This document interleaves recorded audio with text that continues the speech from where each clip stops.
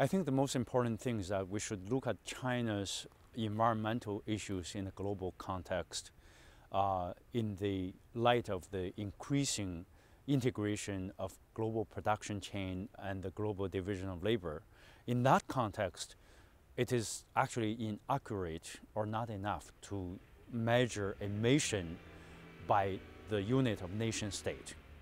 Uh, we all know that by far China is the largest CO2 emitter in the world, but if on a per capita basis, China emits only a fraction of the advanced industrialized countries. On the historical accumulative process, we also know China accounts a very little proportion of it. But even go beyond the per capita and historical dimension, there's a important dimension that we basically missed. That is, many of the Chinese productions, exports, are the production for uh, Western advanced industrialized countries.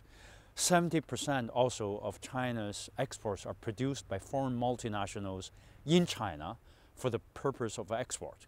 And among these productions are mostly high energy intensive, high emission uh, manufactured consumer goods that we consume in the West. So therefore, there is a different way of calculating the emission, which is, should be based on uh, consumption rather than production.